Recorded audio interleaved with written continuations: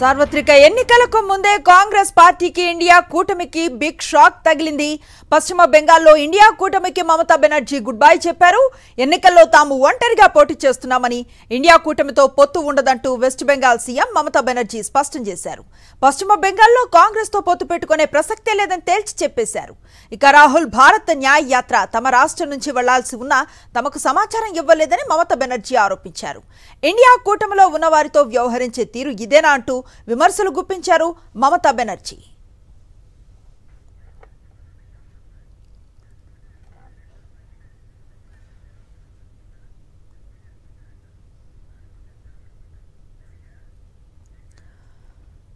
ఇందుకు సంబంధించిన తాజా సమాచారాన్ని మా డెప్యూటీ ఇన్పుట్ ఎడిటర్ వెంకటేష్ అందిస్తారు. వెంకటేష్.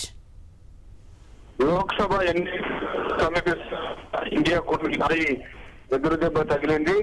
కూటమిలో భారీ చీలిక వచ్చింది. కూటమిలో కీలక పార్టీగా ఉన్నటువంటి తృణమూల్ కాంగ్రెస్ పార్టీ ఈ కూటమి నుంచి బయటకు వచ్చింది.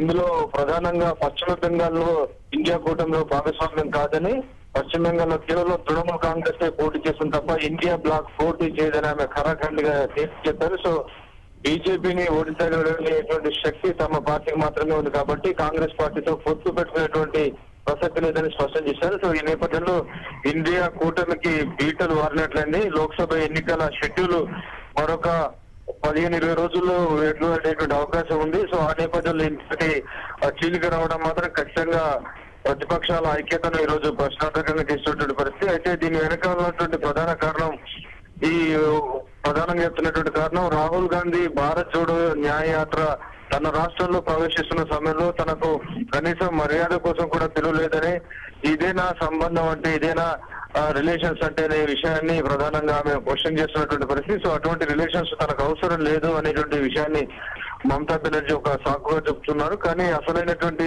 వెనక దీని కథ వేరే ఉందని అంటున్నారు. అందులో ప్రధానంగా ఇండియా కూటమికి తనను చైర్మన్గా ఎన్నుకోకపోవడం తనను జాతీయ నాయకురాలు గుర్తించకపోవడం ఈ కారణాలతోనే మమతా బెనర్జీ ఈ కూటమిలో ఉంటే తనకు పెద్ద లాభం లేదు.